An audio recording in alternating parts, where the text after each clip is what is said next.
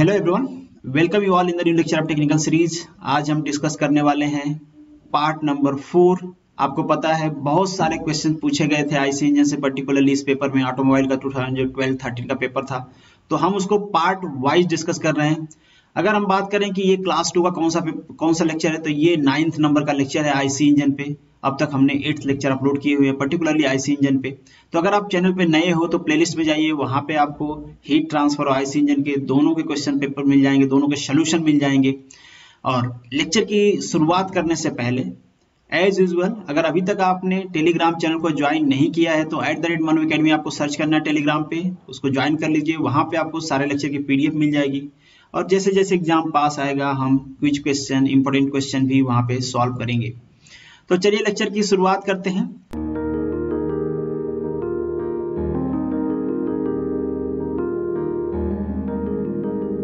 जो first question आपका in which of the following two stroke engine is usually identify मैं question अब try करूँगा कि हर क्वेश्चन को पढ़ के आपको जवाब दूँ, क्योंकि जब मैं क्वेश्चन को पढ़ता नहीं हूँ, जल्दीबाजी में जवाब देता हूँ तो बहुत सारे जगह मिस इंटरप्रिटेशन हो जाता है और क्वेश्चन वहाँ पे गलत डिस्क्राइब कर दिया जाता है। तो ऐसा हुआ है एक दो क्वेश्चन में। आपका कमेंट आया तो मुझे पता चला। तो हम अब पूरा क्वेश्चन पढ़ के सॉल्व करेंगे। तो यहाँ पे जो आपसे पूछा हुआ है by which of the following two stroke engine is usually identify कैसे आइडेंटिफाई करोगे कि ये टू स्ट्रोक इंजन है? तो ऑब्वियसली जो हमारा फोर स्ट्रोक इंजन होता है, वहाँ पे आपको वाल्व लगा दिख जाएगा बट टू स्ट्रोक इंजन में वाल्व लगा नहीं होता है, जिसको हम बाहर से आइडेंटिफाई कर सकते हैं ना इजिली यहाँ पे पोर्ट होता है तो हम देख के बता सकते हैं कि वहाँ पे वाल्व नहीं है। उसका मतलब कि वो कौन सा इंजन है? टू स्ट्रोक इंजन है। तो यहाँ पे अब्सेंस ऑफ़ द वाल तो हमारा जो ऑप्शन होगा, वो ए करेक्ट होगा। जो आपका नेक्स्ट क्वेश्चन है in which type of engine super charging is essential word पे आप ध्यान देना, यहाँ पे बोला है एसेंशियल ठीक है? तो सुपर चार्जिंग आप कर किसी में भी सकते हो, ठीक है? किसी भी इंजन में सुपर चार्जिंग करोगे ऑब्वियसली जो भी उसका एडवांटेज होता होगा, आपको मिलेगा ही मिलेगा। एडवांटेज क्या क्या होते हैं सुपर चार्जिंग के? आपके साइज़ सेम साइज़ में इंजन का जो पावर प्रोडक्शन है, वो बढ़ जाता है। कंबशन कंप्लीट होता है एमिशन डिक्रीज कर जाता है तो ये सारी चीज़ें होती हैं। तो सुपर चार्जिंग आप किसी में कर सकते हो बट यहाँ पे पूछा है कि एसेंशियल किसमें है, जिसमें आपको करना ही पड़ेगा, बिना सुपर चार्जिंग के वहाँ पे काम नहीं चलने वाला है। तो ऑप्शन जो होगा यहाँ पे वो सी होगा। क्यों होगा? क्योंकि जो हमारे एयरक्राफ्ट होते हैं जनरली वो फ्लाई करते हैं, आप फाइव किलोमीटर से लेके, इससे ऊपर भी रहते हैं कुछ तो ये एटलीस्ट उनका हाइट होती है। इस हाइट पे जो डेंसिटी होती है एयर को, वो काफ़ी कम होती है। तो एयर डेंसिटी कम होती है, जिसके वजह से हमारी ऑक्सीजन सफिशियंट सफिशियंट अमाउंट में हमारे इंजन में पहुँच नहीं पाती है। तो जो हमारी बर्निंग होती है, वो कंप्लीट नहीं हो पाती है। एमिशन बढ़ सकता है। और सबसे इंपॉर्टेंट चीज़ कि वहाँ पे जो पावर प्रोडक्शन है, वो घट जाता है, जिसकी वजह से हमारा जो प्रोपेलर है, वो जितना थ्रस्ट क्रिएट करना चाहिए फ्लाई होने के लिए वो क्रिएट नहीं कर पाता है तो इन सारे प्रॉब्लम को ओवरकम करने के लिए हम क्या करते हैं? यहाँ पे सुपर चार्जिंग करते हैं। अब आप यहाँ पे क्वेश्चन कर सकते हो कि, सर, अगर ऐसा है तो बड़ा इंजन क्यों नहीं बना देते हैं? ठीक है, जो ज़्यादा पावर प्रोड्यूस करे, मान लो फाइव किलो वाट का ज़रूरत है हमको तो हम ऐसा इंजन बना दे जो सेवन किलो वाट प्रोड्यूस करे। ठीक है तो ऐसा क्यों नहीं करते देखो, ऐसा करने से obviously economy the most important aspect होता है किसी भी चीज़ के डिज़ाइन के लिए। दूसरी बात, यहाँ पे इकोनॉमी के साथ साथ आपका वेट भी बहुत बड़ा एक्सपेक्ट होता है, क्योंकि उस वेट को लेके आपको फ्लाई करना है। इंजन जितना बड़ा रहेगा, उतना हैवी वेट रहेगा। और उसको लेके आप फ्लाई फ्लाई करोगे तो ऑब्वियसली आपकी रनिंग कॉस्ट भी बढ़ेगी, उसकी मेंटेनेंस कॉस्ट भी बढ़ेगी। तो बहुत सारी चीज़ें होती हैं। तो हम सबसे जो इजीएस्ट सबसे जो अच्छा तरीका होता है वो चूज़ करते हैं। इसलिए हमारे एयरक्राफ्ट में जो सुपर चार्जिंग होती है, वो एसेंशियल होती है, हम करते ही करते हैं। इसके अलावा भी एयरक्राफ्ट के बहुत सारे स्पेसिफिकेशन होते हैं फ्यूल में बहुत सारे एडिटिव यूज़ करते हैं, बहुत सारी चीज़ें होती हैं बट सुपर चार्जिंग उसमें एसेंशियल होता है। जो आपका नेक्स्ट क्वेश्चन है in the cycle the spark last for कितने सेकेंड में? Zero point zero zero one second तो यहाँ पे जो आपका ऑप्शन होगा, वो ये होगा एज सच कोई फंडामेंटल नहीं जो मैं आपको बताऊँ यहाँ पे। नेक्स्ट जो क्वेश्चन है the number of cylinder in the Ambassador car आप कहोगे कि इस टाइप के क्वेश्चन क्यों पूछ लिए गए? क्योंकि ये पेपर काफ़ी पुराना है और कभी कभी वो ऐसे क्वेश्चन भी पूछ लेते हैं। तो बेसिकली ये क्वेश्चन आपको याद रखना पड़ता है। अब तो अम्बेसडर कार बंद भी हो गई है। आप देखो इस टाइप की आती थी। आपने देखा भी होगा, पहले जो अधिकारी होते थे, वो इसी से चला करते थे। तो इस टाइप की कार आती है। कितने सिलेंडर होते हैं वहाँ पे? वहाँ पे होते हैं फोर सिलेंडर और एक इसका और स्पेसिफिकेशन होता है कि फोर सिलेंडर के साथ साथ इसमें हर सिलेंडर में फोर वॉल्व होते हैं। आपने जनरली क्या पढ़ा है कि हर सिलेंडर में कितने वॉल्व होते हैं? टू वॉल्व होते हैं, एक इनलेट वॉल्व, एक एग्जॉस्ट वॉल्व, बट यहाँ पे फोर वॉल्व होते हैं। ऑब्वियसली बस इसमें नहीं होते हैं, और भी बहुत सारी गाड़ियाँ आती हैं जिसमें फोर वॉल्व होते हैं। अब ये फोर वॉल्व का फंडामेंटल क्यों है? तो आप कह सकते हैं ये टेक्नोलॉजी का एनहांसमेंट मान लो या फिर जो भी है एक्सपेरिमेंट मान लो, जो भी है। ये कहा गया कि अगर यहाँ पे नंबर ऑफ़ वॉल्व ज़्यादा रहेंगे तो इनटेक और एग्जॉस्ट इजिली होगा। नॉइस को हम कम कर पाएँगे पॉल्यूशन सॉरी जो हमारा परफॉर्मेंस है उसको हम इंक्रीज कर पाएँगे। इस वजह से नंबर ऑफ़ वाल्व इनको पर सिलेंडर इन्होंने क्या किया? बढ़ा दिया। जनरली होता क्या है? पर सिलेंडर वाल्व कितने होते हैं? दो ही होते हैं। अब इसलिए आप बढ़ाओगे, यहाँ पे वेट बढ़ेगा डिज़ाइन की कॉम्प्लिकेशन बढ़ेगी। ऐसा नहीं है कि कोई चीज़ आप करते हो परफॉर्मेंस बढ़ाने के लिए तो उसके रिस्पेक्ट में और कुछ नहीं होता है। सीधा परफॉर्मेंस बढ़ जाती नहीं, और बहुत सारी चीज़ें होती है। ऑब्वियसली प्राइस भी बढ़ जाएगा इसका। तो ये सारी चीज़ें हैं। तो यहाँ पे जो आपका ऑप्शन होगा वो बी करेक्ट होगा।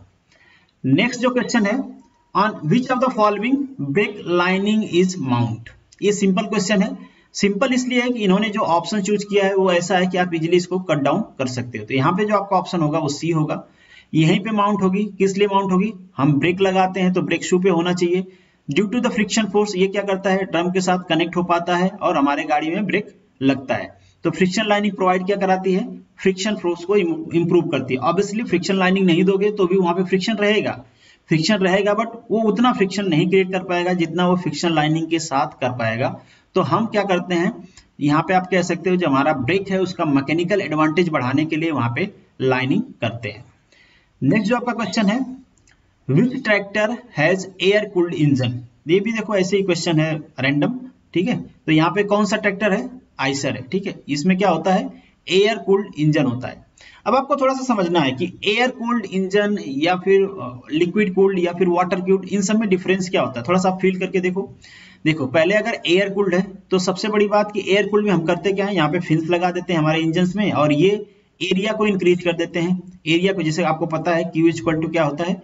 एच ए डेल्टा टी होता है। ये मैंने हीट ट्रांसफ़र आपको बताया है।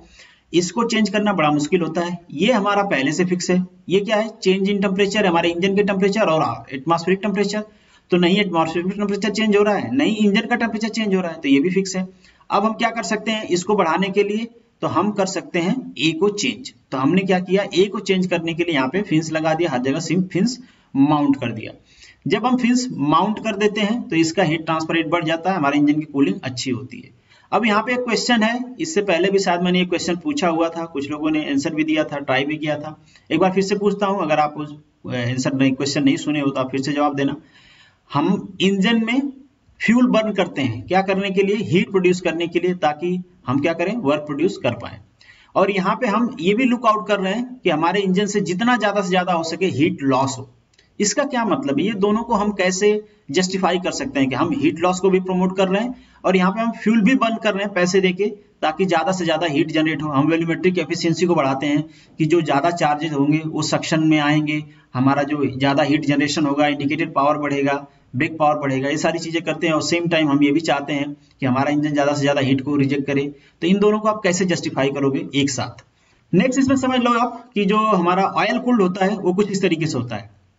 अब ऐसा नहीं कि ऑयल कूल्ड में हम एयर का यूज़ ही नहीं करते हैं। भाई देखो, यहाँ पे एयर प्राइमरी कूलेंट होती है, आप कह सकते हो, और यहाँ पे सेकेंडरी कूलेंट होती है। यहाँ पे क्या होता है, ये जो इंजन है, देखो यहाँ पे फिंस नहीं लगी हुई। तो हम क्या करते हैं, इंजन को कूल करते हैं ऑयल के थ्रू और ऑयल को कूल करते हैं एयर के थ्रू तो ये हमको थोड़ा ज़्यादा इफ़ेक्टिव कूलिंग देता है, क्योंकि यहाँ पे आप देखो ज़्यादा फिंस लगी हुई हैं, ये यहाँ से हीट रिजेक्शन ज़्यादा फास्ट होता है। तो हम आसानी से हीट रिजेक्शन कर पाते हैं ओवर हीटिंग को हम यहाँ पे, वो कर पाते हैं ओवरकम कर पाते हैं। और बहुत ज़रूरी होता है कि जब इंजन आपको लॉन्ग रन के लिए हो तो ओवर हीटिंग नहीं होनी चाहिए इंजन की। इंजन की ओवर हीटिंग से बहुत ज़्यादा नुकसान होता है इंजन का। तो ओवर हीटिंग को हम मिनिमाइज कर पाते हैं यहाँ पे, ठीक है? तो ये भी होता है, कभी वाटर कूलिंग भी होते हैं बट बेसिकली अब वाटर कूलिंग को नियर अबाउट बंद कर दिया गया क्योंकि उसकी बहुत सारी डिसएडवांटेज थी। तो हम बेसिकली अब ऑयल कूलिंग ही करते हैं। ऑयल कूलिंग करते हैं और एयर कूलिंग करते हैं। एयर कूलिंग डायरेक्ट हो जाती है। ऑयल कूलिंग में थोड़ा सा इनडायरेक्ट एयर का हम यूज़ करते हैं। नेक्स्ट क्वेश्चन पर मूव करते हैं. Odometer is instrument use to measure the distance distance measure करता है ये ऑब्वियसली आप सबको पता ही होगा. डिस्टेंस मेजर करता है. यहाँ पे जो स्मोकिंग एनालिसिस है, ये क्या करता है? ये हमारा स्मोक मीटर का काम करता है, या फिर हम इसको कहते हैं ऑपिसिटी मीटर ठीक है? तो ये क्या करता है? स्मोक एनालिसिस करता है. अगर आपको ब्रेक पावर मेजर करना है तो ब्रेक पावर मेजर करने के भी बहुत सारे तरीके होते हैं. सबसे आसान होता है प्रोनी ब्रेक फिर आप रोप ब्रेक से भी कर लेते हो हाइड्रोलिक डायनोमीटर का भी यूज़ कर लेते हो तो इस टाइप से आप ब्रेक पावर को भी मेजर कर पाते हो। तो बहुत बार क्वेश्चन आपसे पूछ लेता है जैसे कि बहुत बार एक क्वेश्चन पूछा है कि जो हमारा मोर्स टेस्ट होता है, वो किस लिए यूज़ होता है? तो मोर्स टेस्ट से आप डायरेक्टली ब्रेक पावर तो नहीं मेजर कर सकते बट इनडायरेक्टली ब्रेक पावर उससे भी मेजर कर सकते हो। हम क्या करते हैं? वहाँ पे इंडिकेटेड प्रेशर मेजर करते हैं। इंडिकेटेड प्रेशर या इंडिकेटेड पावर कह लो आप।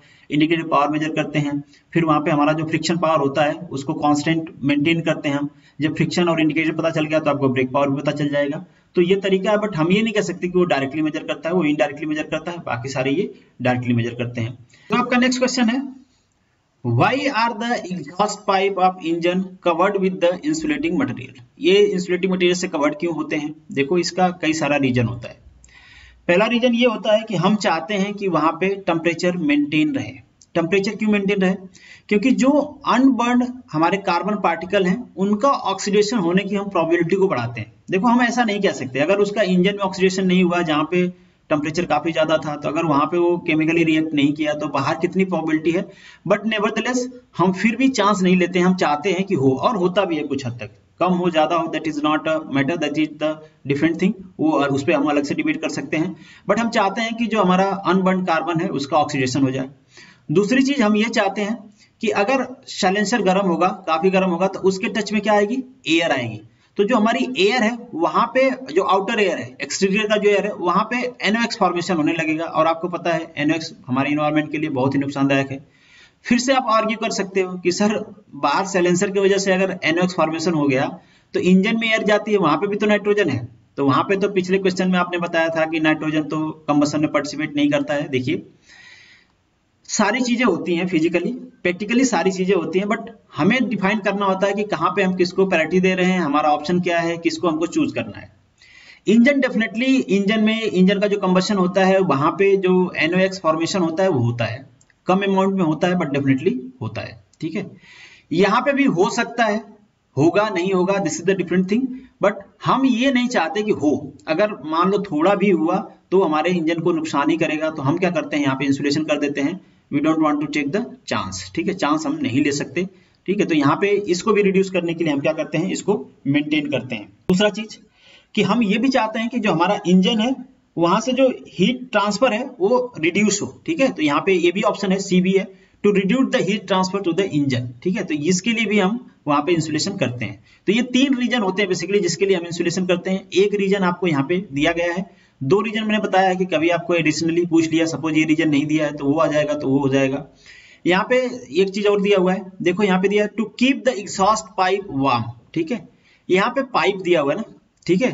अगर यहाँ पे ये दे देता कि to keep the exhaust gases warm तो ये ऑप्शन ज़्यादा अप्रोप्रिएट होगा इसके अलावा। ठीक है? ये, इस ऑप्शन को ये ओवरटेक कर लेगा, अगर यहाँ पे गैसेज दे देता तो।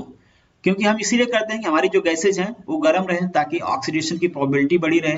और बाहर जब जाए तो एनोक्स की प्रोबेबिलिटी ना रहे, ठीक है? तो ये सारे रीजन होते हैं। नेक्स्ट जो आपका क्वेश्चन है due to which of the following violent sound pulsation within the cylinder of IC engine is cause क्या रीजन होता है इसका? सबको पता है रीजन इसका रीजन होता है डेटोनेशन डेटोनेशन की वजह से ही इस टाइप के साउंड आते हैं।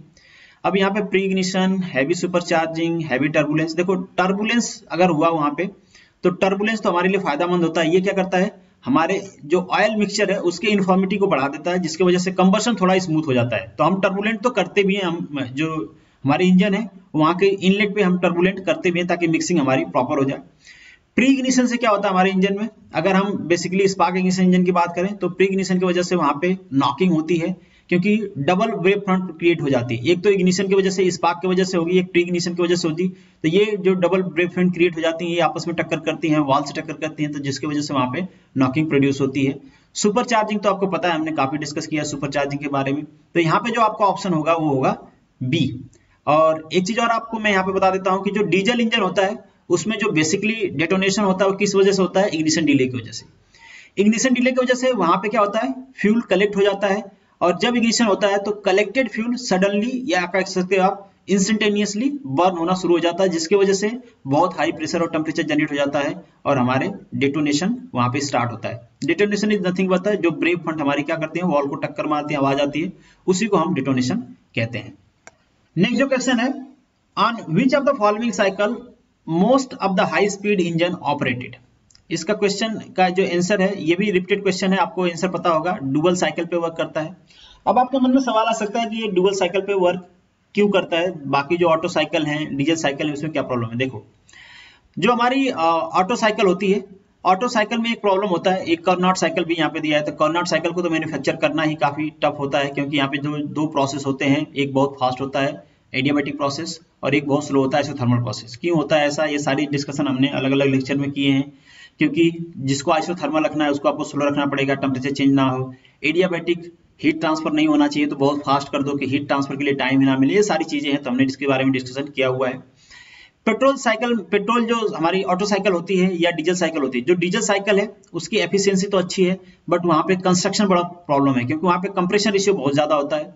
और हमारी जो पेट्रोल साइकिल है, उसमें क्या होता है? उसका जो कंप्रेशन रेशियो होता है, वो कम होता है। एफिशिएंसी वहाँ पे प्रॉब्लम है। एफिशिएंसी की वजह से हम डीजल साइकिल पेट्रोल साइकिल पर रन करना मुश्किल होता है। और एफिशिएंसी इसकी अच्छी है इसका कंस्ट्रक्शन काफ़ी डिफ़िकल्ट है।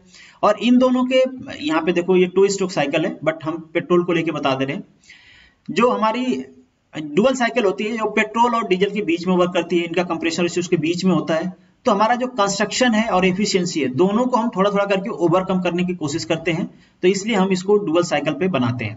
जो आपका नेक्स्ट क्वेश्चन है a temperature indicator provided for automobile indicates temperature of किसका टेम्परेचर इंडिकेट करता है ये? कूलेंट का। हम क्यों लगाते हैं? कि ये कूलेंट का टेम्परेचर हम मेजर करते रहे। डेफिनेटली कूलेंट काफ़ी इंपॉर्टेंट होता है, उसका टेम्परेचर हमारे लिए इसलिए इंपॉर्टेंट होता है कि उसी के टेम्परेचर से हम इंजन को कूल करते हैं। तो उसका टेम्परेचर ज़्यादा है, कम है, उसी पे डिपेंड करेगा कि हमारे जो हमारा जो इंजन है, उसकी रिस्पेक्टिव कूलिंग कम होगी, ज़्यादा होगी, क्या होगी। तो यहाँ पे आपका जो अप्रोप्रिएट ऑप्शन होगा, वो होगा डी यहाँ पे दिया है जैकेट, कूलिंग वाटर, ठीक है? तो ये डी ऑप्शन होगा। अब अगर एक चीज़ और, एक दो चीज़ और डिस्कस कर लेते हैं। अगर आपका जो कूलेंट है, वहाँ पे जो इंडिकेटर लगा हुआ है, वो ज़्यादा टेम्परेचर मेजर करता है कूलेंट का, इसका मतलब क्या है? बहुत सारे रीजन हो सकते हैं। पहला क्या हो सकता है? आपकी गाड़ी का ओवर हीटिंग हो गया इंजन का। दूसरा क्या हो सकता है? आपके कूलेंट का मास रेट कम हो गया है। मास रेट कम हो गया मतलब हमारा कूलेंट लीक कर रहा होगा कहीं से, इसकी वजह से हो सकता है। या जो हमारा थर्मोस्टेट है, वो खराब हो गया होगा ब्रेक हो गया, इसकी वजह से हो सकता है। इसके लो टेम्परेचर मेजर करने के क्या कारण हो सकते हैं कि ये टेम्परेचर कम मेजर करे, जितना हमारा इंजन का टेम्परेचर है, उससे कम मेजर करे। एक तो होगा कि आपने गाड़ी जस्ट स्टार्ट किया तो ऑब्वियसली इंजन का टेम्परेचर ही नहीं तो क्या मेजर करेगा? तो उस समय लो मेजर करेगा। दूसरा, आपकी गाड़ी को देर रन कर चुकी है, अगर फिर भी वो लो मेजर कर रहा है, इसका मतलब क्या है? आपका थर्मोस्टेट खराब है। या फिर जो आपका टेम्परेचर इंडिकेटर है, उसका ब्रेकडाउन हो गया है, या फिर जो आपका थर्मोस्टेट है, वो ओपन है, जिसके वजह से वो क्या है कूल हो जा रहा है और टेम्परेचर इंडिकेटर कंप्लीट टेम्परेचर नहीं बता रहा है। तो ये सारे रीजन हो सकते हैं। इन सब पे भी कभी कभी आपसे क्वेश्चन पूछा जा सकता है। तो ये सारी चीज़ें आपको जानना चाहिए। जो भी रिलेटेड है, उन सब के बारे में हम डिस्कशन करते हैं, ताकि आपसे उसके रिलेटेड जो भी क्वेश्चन पूछे you are able to answer all the question next question पर मूव करते हैं। The size of the engine intake valve is intake valve की साइज़ क्या होती है? देखो, यहाँ पे थोड़ा सा कॉन्फ्लिक्ट है आपके की में और मेरे डिस्क्रिप्शन में। आपका जो आंसर की है, उन्होंने डी दिया हुआ है बट मेरे हिसाब से ये डी नहीं होगा सी होना चाहिए, ठीक है? सी होना चाहिए रीजन भी मैं आपको बताता हूँ, और होता भी है प्रैक्टिकली यही। Longer that the exhaust valve जो हमारा इनलेट वाल्व होता है, वो एग्जॉस्ट वाल्व से बड़ा होता है। क्यों बड़ा होता है? क्योंकि हम चाहते हैं कि जब सक्शन स्ट्रोक हो रहा होता है उसमें प्रेशर डिफरेंस बहुत ज़्यादा नहीं होता है। तो हम चाहते हैं कि जो फ्रेश चार्ज है, वो तेज़ी से अंदर जाए। जो एग्जास्ट स्ट्रोक है, उस टाइम पे इंजन के अंदर सफिशियंट प्रेशर होता है गैस को एग्जॉस्ट करने के लिए तो वहाँ पे बड़े ओपनिंग की ज़रूरत नहीं पड़ती है। बट इनलेट में बड़े ओपनिंग की हमको ज़रूरत पड़ती है, इसलिए हम थोड़ा इसको क्या करते हैं बड़ा रखते हैं। यहाँ पे आप देख भी सकते हो, ये हमारा इनलेट वाला है, ये हमारा आउटलेट वाला है। बट जो जीपीएससी है, वो फाइनल आंसर की में आपका डी ऑप्शन ही बताया उन्होंने। अब आई डोंट नो भाई बट यहाँ पे जो मोस्ट अप्रोप्रिएट ऑप्शन होगा वो सी होगा। नेक्स्ट क्वेश्चन पे अगर हम मूव करें the device use to reduce the exhaust noise बहुत बार इसको हमने डिस्कस किया है, बहुत बार रिपीट भी होता है तो मफलर यूज़ होता है, यहाँ पे आप डायग्राम में देख भी सकते हो। ये लगा देते हैं हम इंजन में, यहाँ पे मफलर लगा होता है और बहुत सारे अरेंजमेंट होते हैं यहाँ पे तो ये मफलर क्या करता है हमारे, जो नॉइस है उसको रिड्यूस करता है। बहुत सारे लोग मॉडिफिकेशन भी कर लेते हैं गाड़ी में नॉइस बढ़ा देते हैं।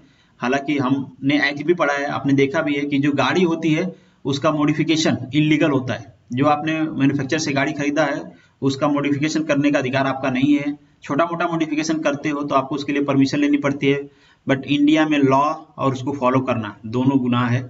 लॉ तो है बट फॉलो करने में हमारी बेजती होती है। नेक्स्ट जो क्वेश्चन है आपका the smoky blue exhaust is due to देखो इसके बहुत सारे रीजन होते हैं बट हम यहाँ पे बात करेंगे मेजर रीजन का कि मेजर रीजन क्या होता है। तो मेजर रीजन ये होता है कि कहीं से आपका जो ऑयल है इंजन ऑयल है, वो लीक कर रहा है और वो उसका कंबशन हो रहा है। अगर वो लीक करके कंबशन होता है तो ये जो स्मोक है, वो ब्लू हो जाता है। बस इसके अलावा भी बहुत छोटे बड़े रीजन होते हैं। अगर ये लीक क्यों करेगा, आपकी ऑयल पिन खराब हो सॉरी ऑयल रिंग खराब हो गई होगी, इस वजह से करता है। इंजन के जो टैंक है, उसमें बहुत कम फ्यूल है, तब भी ऐसा आता है धुआँ। अगर बहुत ज़्यादा है ओवर फिल कर दिया आपने, तभी भी ऐसा धुआँ आता है। कभी कभी गाड़ी के स्टार्टिंग जब आप स्टार्ट करते हो, तब ऐसा आता है। तो बहुत सारे रीजन होते हैं इसके बट जो सबसे डोमिनेटिंग रीजन होता है कि आपका जो इंजन है चलने के बाद भी अगर वैसा धुआँ दे रहा है सब तो स्पेशल कंडीशन है तो वहाँ पे डेफिनेटली आपके जो कूलेंट है इंजन ऑयल है, उसका लीकेज हो रहा है। जो नेक्स्ट क्वेश्चन है आपका the most popular firing order in the four stroke inline IC engine is देखो, ये सारे अरेंजमेंट है आपके। इस टाइप के हम बेसिकली अरेंजमेंट यूज़ करते हैं। मगर जो सबसे ज़्यादा हम यूज़ करते हैं, ये दोनों यूज़ करते हैं वी टाइप के और इन लाइन के। ये इन लाइन है इन लाइन यहाँ पे भी दिखाया हुआ है। अब ये कह रहे हैं कि जो फायरिंग ऑर्डर हम चूज़ करते हैं, वो सी करते हैं। वन थ्री फोर टू अब हम यही फायरिंग ऑर्डर क्यों करते हैं? देखो फायरिंग ऑर्डर चूज़ करने का कुछ माइनर रीजन भी होते हैं। पहला वाइब्रेशन अब वाइब्रेशन कहाँ से आ गया? देखो, अगर मान लो हमने इसको बंद किया, इसको बंद किया। इन दोनों को फायरिंग ऑर्डर दे दिया साथ में। तो यहाँ पे जो पावर होगा पावर डिस्ट्रीब्यूशन वो यूनिफॉर्म नहीं हो जाएगा। हमारे इधर की सॉफ्ट में पावर आएगा, इधर की सॉफ्ट में नहीं आएगा, जिसकी वजह से क्या होगा? वाइब्रेशन होगा नॉइस होगी, ठीक है? और और भी बहुत सारी चीज़ें हैं। वाइब्रेशन की वजह से आपको पता है, जो हमारे एसेंशियल कंपोनेंट्स होते हैं, उनका फटीक हो जाता है फेल कर जाते हैं वो। तो इन सबको हम क्या करते हैं मिनिमाइज करने के लिए एक फायरिंग ऑर्डर लेते हैं कि पहले ये वन हो, फिर हमारा थ्री हो, फिर हमारा फोर हो, फिर ये हो। क्योंकि हम चाहते हैं कि जो पावर डिस्ट्रीब्यूशन हो, वो यूनिफॉर्म हो, जिसकी वजह से वाइब्रेशन भी नहीं होगा साउंड भी नहीं आएगा।